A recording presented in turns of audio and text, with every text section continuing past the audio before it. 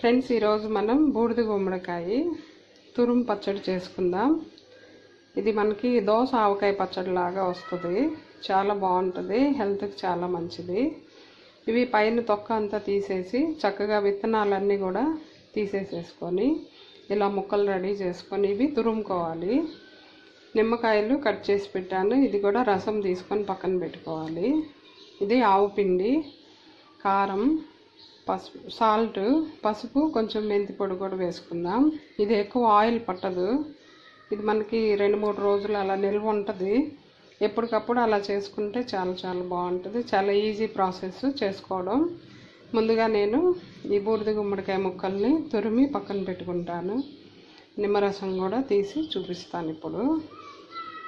ఇవి చేసే ముందు మనం ఒక రెండు స్పూన్లు ఆయిల్ వేసి తాలింపు వేసుకుందాం. నేను ఆల్రెడీ తాలింపు వేసి పెట్టాను. రెండు స్పూన్లు ఆయిల్ వేసాను ఒక స్పూన్ ఆవాలు వేసి ఈ వెల్లుల్లి కొన్ని ఇలాగ చిత్త కొట్టి వేసి వేయించి పక్కన పెట్టాను. ఇది మనకి ఆరాలి.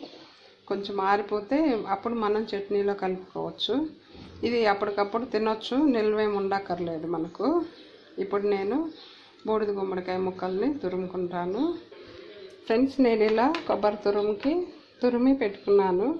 కొంచెం వాటర్ వస్తుంది. వాటర్ని ఏం చేయొద్దు. మనకి పచ్చడి లూజ్గా చక్కగా ఉంటుంది బాగుంటుంది. ఇదిగోండి కొంచెం లెమన్ జ్యూస్ పిండి పక్కన పెట్టుకున్నాను. ఇప్పుడు తయారీ విధానం చూపిస్తాను. ఫ్రెండ్స్ ఇదిగోండి. ఇది బూడిద గుమ్మడికాయ తురుము పసుపు ఒక స్పూన్ సాల్ట్ ఒక స్పూన్ కారం ఒక స్పూను ఆవు పిండి. పట్టిద్ది మనకంతా. ఇదిగోండి కొంచెం మెంతి పొడి. ఇప్పుడు ఇందులో ఒక రెండు స్పూన్లకి మనం నిమ్మరసం. అప్పటికప్పుడు చేసుకోవచ్చు. చక్కగా మార్కెట్కి వెళ్ళినప్పుడు చిన్న ముక్క తెచ్చుకున్నామంటే ఈ చట్నీ చేసుకోవచ్చు. మనకి ఫ్రిడ్జ్లో అలా పెట్టుకుంటే రెండు మూడు రోజులు మంచిగా నిల్వ కూడా ఉంటుంది. వారం అలా ఉంటుందండి కానీ రెండు మూడు రోజులు చాలు. బాగుంటుంది ఇది. మనకి కిడ్నీ ప్రాబ్లమ్స్ అలా రాకుండా చక్కగా ఇది హెల్ప్ చేస్తుంది. చాలా మంచిది చాలా చాలా టేస్ట్గా ఉంది. చక్కగా చిన్నపిల్లలు కూడా చాలా ఇష్టంగా తింటారు ఇలా తురమడం వలన. ముక్కలు కూడా వేసుకోవచ్చు. నేను ఇలా తురిమాను. చక్కగా ఇలా మనం ఈరోజు మధ్యాహ్నం చేసుకుంటే అప్పటికప్పుడు తినొచ్చు కానీ ఒక పూట అలాగా మనం నిల్వ పెట్టేసుకుని చక్కగా రేపు మార్నింగ్ ఇడ్లీ దోశకి రైస్కి చాలా బాగుంటుంది. ఇప్పుడు ఇందులో తాలింపు వేసుకుందాం. తాలింపు వేసేసాను. చక్కగా ఇదంతా కలిపి మనం ఒక గాజు సీసాలో మంచిగా స్టోర్ చేసుకోవచ్చు.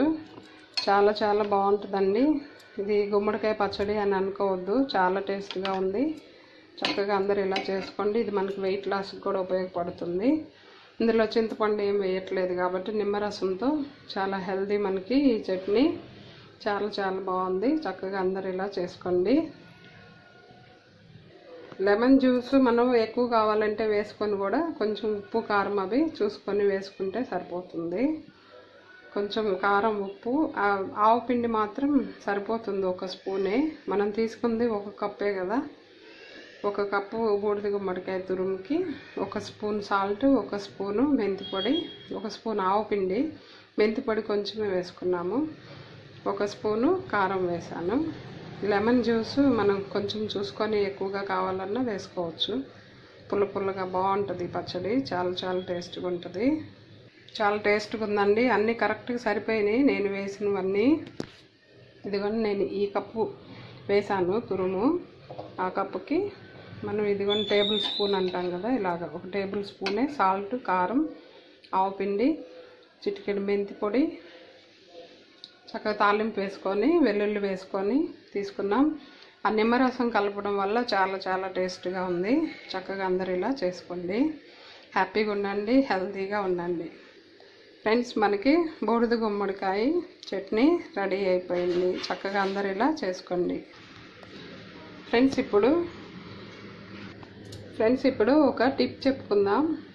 ఇప్పుడు ఈ మనం పచ్చడికి నిమ్మకాయలన్నీ పిండాము కదా ఈ పిండిన నిమ్మకాయలు మనం ఇలా ఒక గిన్నెలో వాటర్ వేసి ఈ వాటర్లో ఈ నిమ్మకాయల్ని బాయిల్ చేసుకోవాలి.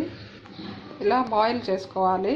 బాయిల్ అయిన తర్వాత ఈ వాటర్ని మనం ఫిల్టర్ చేసేసుకొని ఈ డొప్పలన్నీ తీసేసి ఇందులో కొంచెం విమ్ లిక్విడ్ కొద్దిగా సాల్ట్ వేసి మనం ఒక షాంపూ బాటిల్లో స్టోర్ చేసుకుంటే మనకి ఈ లిక్విడ్ చక్కగా క్లీనింగ్కి చాలా ఉపయోగపడుతుంది.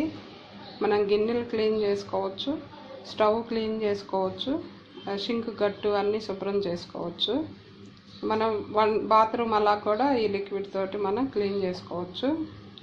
చాలా చాలా బాగుంది ఇది. చక్కగా అందరు ఇలా చేసుకోండి. ఇది ఇప్పుడు బాయిల్ చేసుకుందాం. ఫ్రెండ్స్ ఇలా చక్కగా బాయిల్ అయిపోయింది. ఇప్పుడు ఇందులో ఒక స్పూను సాల్ట్ వేద్దాము. ఇది అంతా చక్కగా ఆరబెట్టుకోవాలి స్టవ్ ఆఫ్ చేస్తున్నాను. ఈ వాటర్ అన్నీ చక్కగా ఆరిపోయిన తర్వాత ఇదిగోండి ఇలా విమ్ లిక్విడ్ డబ్బాలో కొంచెం విమ్ లిక్విడ్ వేసాను. ఇప్పుడు ఈ వాటర్ అన్నీ ఆ డబ్బాలో పోసి మనం స్టోర్ చేసుకుందాం. ఇలా ఫిల్టర్ చేసేసాను. ఈ ఫిల్టర్ అయిన వాటర్ కొంచెం ఆరాలి ఇవి. ఫ్రెండ్స్ ఇలా మనం బాటిల్లో పోసుకొని చక్కగా ఇలా అనేసేస్తే మనకి లిక్విడ్ రెడీ అయిపోతుంది.